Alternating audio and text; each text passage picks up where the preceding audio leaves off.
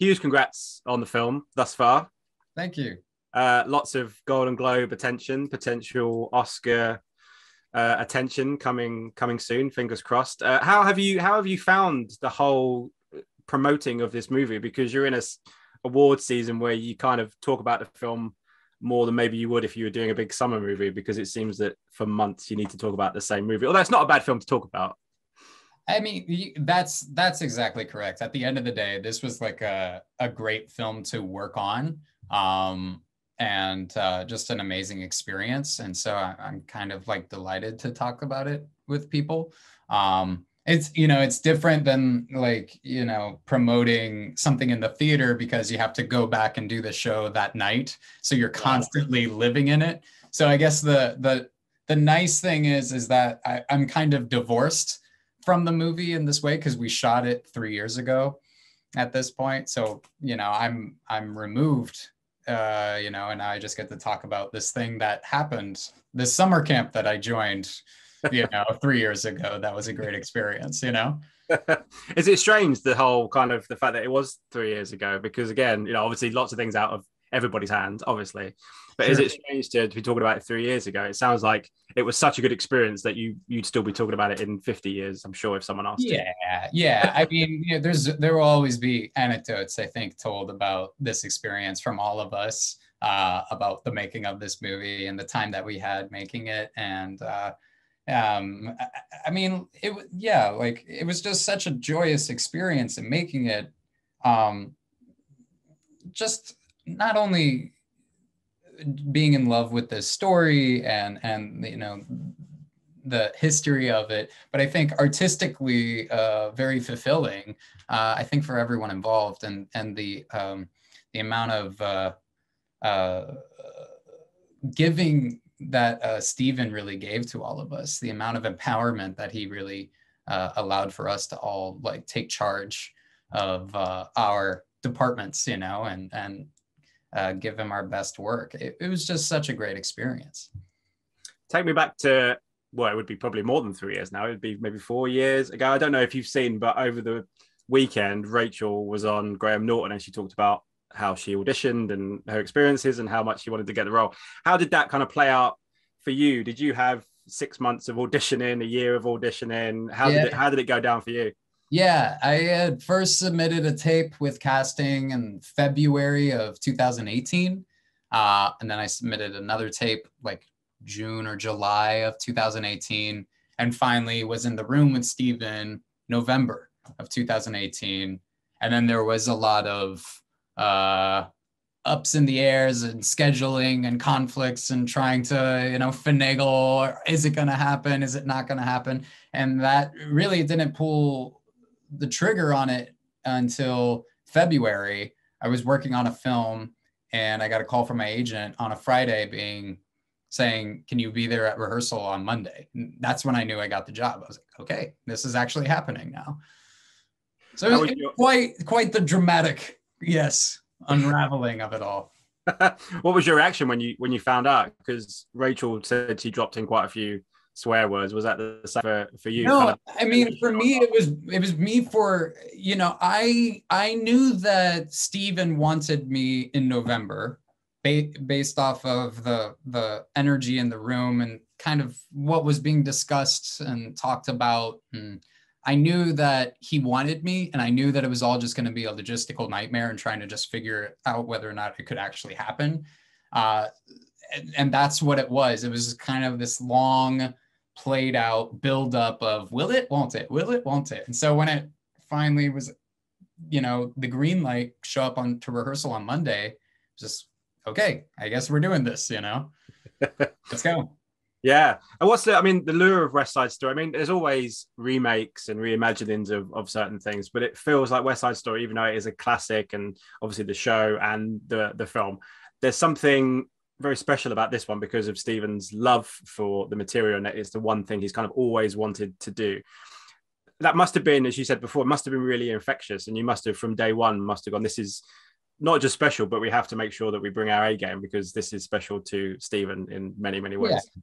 And not just, I mean, it's special to. I knew that it was it's certainly special to me, um, and I think I can go and speak for the rest of the cast and and Tony, and that it is it holds a very special place in our hearts for all of us theater people. Uh, you know, and uh, that's why it is at least on stage told over and over and over again, um, and reapproached. Um, so, given the opportunity to, of course, do the film adaptation of it uh, just heightens it just a little bit more.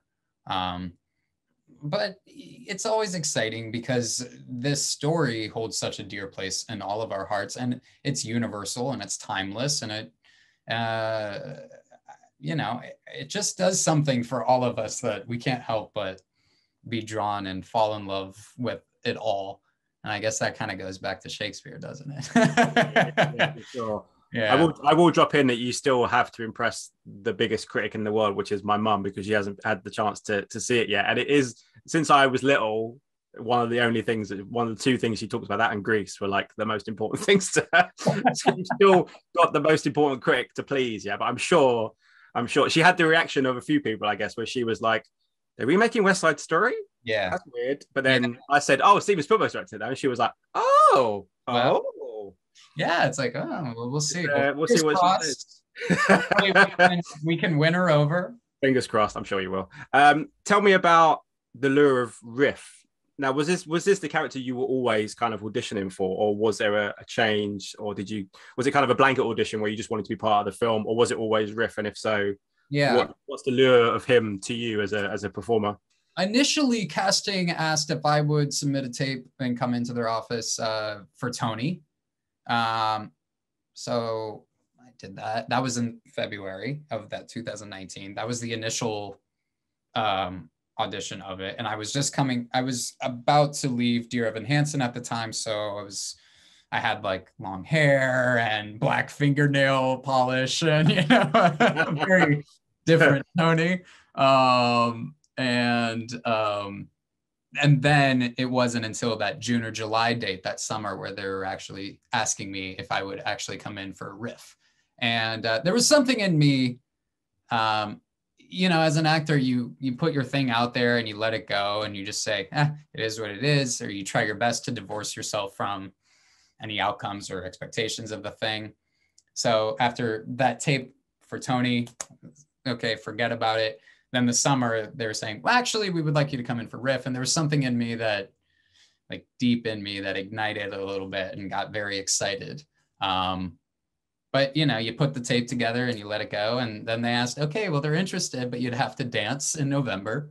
And I, I tried to get out of dancing. I called my agent, said, do I really have to? Like, can I just come in and like do the scene and maybe sing a song, but just, you know, work on the scene work? And uh, my agent said to me, "It's West Side Story, Mike." Like, so I gritted my teeth, you know, I grinned and bear it, and went in there and did my best. And um, but yeah, I mean, growing up with the film, seeing it on stage, Riff has always been, uh, I think, a character that everyone kind of can't help but be magnetically drawn to everyone's drawn to Mercutio in that way. There's just that charisma and that energy about that character that you just can't help but fall in love with.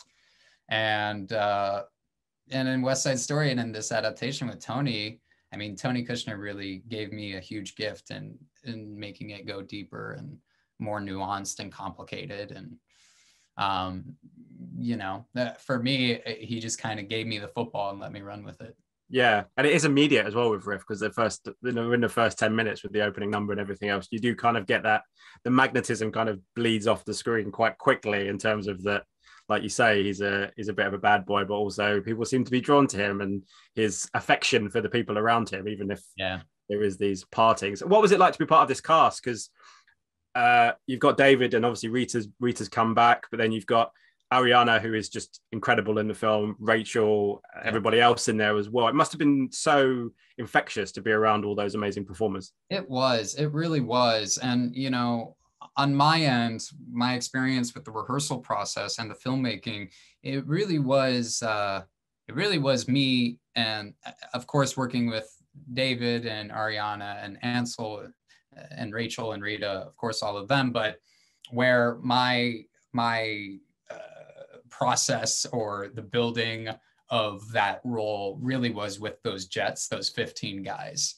Uh, and we just had the time of our life. I, I took them all out uh, first after the first rehearsal day. We all got beers, and uh, I wanted them to feel a real sense of ownership of this version of it. I wanted them. A lot of them have never.